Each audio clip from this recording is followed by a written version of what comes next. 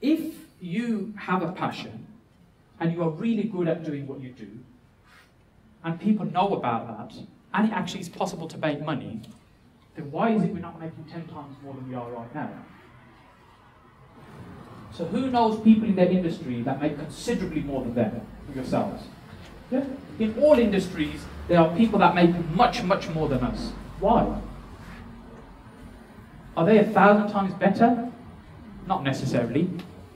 Raise your hand if you're good at doing what you do. Yeah? I'm guessing if you're not good at doing it, you wouldn't be doing it. So let's kind of make the assumption we're all good at doing what we do. So if we're good at it, and we charge for a certain service, and we deliver a good service, why aren't we making that money? There's always someone that undercuts you. Say again, sorry? There's always someone that undercuts you. Undercut you, that's a good point. So sometimes there'll be somebody else that's cheaper. So is the person that's cheaper than you making more money than you? Not necessarily. Not necessarily. Interesting. Now, what if we could kind of claim that space that we're in and say, you know what, this is what I'm good at. This is me. I am the authority in this area. Do you think people that have that kind of expert status and positioning, they command more for their services, and their time? Absolutely they do. Now, let's. This is a bit freaky, this thing over here. Uh,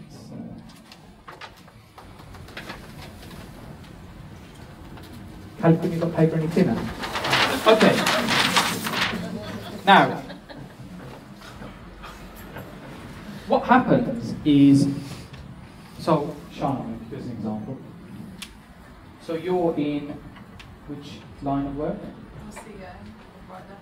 CEO for Brightdead. So what's that mean? What do you do as an organisation? Um, oh. This is your advert time, by the way.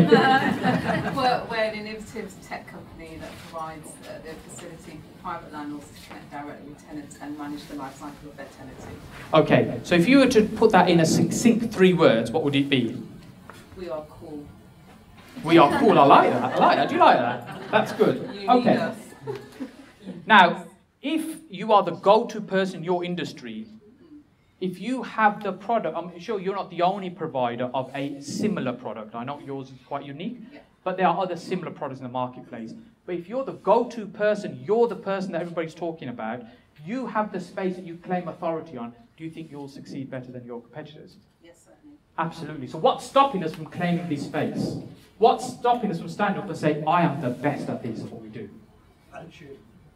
Attitude. What I else? think, I think it's credibility. I think people. Credibility. Time. You, you can say it, but you need, you need credibility really. Yeah. Awareness. Credibility. Awareness.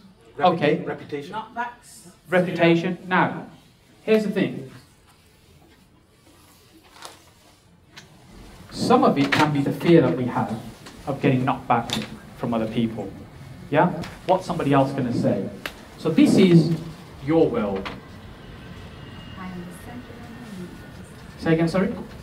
Uh, center of my universe. Center of my universe. I am in the center of my universe. Yes. So this is your world. This is in your little head. Well, not so little son, but in, in your head. and you have this voice that's telling you, oh no, kind of, I'm not sure, we can't do that. We kind of, who are you telling kind of, you know, the world that you're the best at this? Who's got that little voice? No. If you're thinking you haven't got a voice, that's the one that I'm talking about, that you're referring to. The world outside, this you can control and affect in terms of what happens here. Here you have no control. So, for example, can we influence who's going to become the president of the United States? No. Can we affect famine around the world?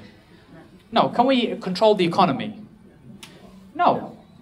But we can, we can control our thoughts and reactions and how we feel about what happens, right? So we're always afraid of what other people are going to say.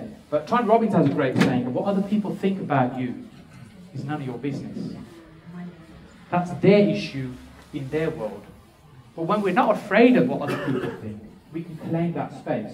So for, for example, in property, I'm known as the property joint venture expert. What that means is I have a huge amount of kind of experience and knowledge on the subject. What I do is I put property deals together based on joint ventures. That's essentially what, what I'm doing. Let me let you into a little secret. Nobody came to my house, knocked on the door, and says, Mr. Hussain, we'd now proudly like to honour you as the official UK expert. It doesn't happen. You have to claim that space. Yes, you need some credibility, but if you don't claim that you're good at what you do, what you do. Nobody else is going to do it for you. And when you create that positioning and you have a brand, that's what you stand for, that's what you're good at. Those are the people that command the most money in our industries.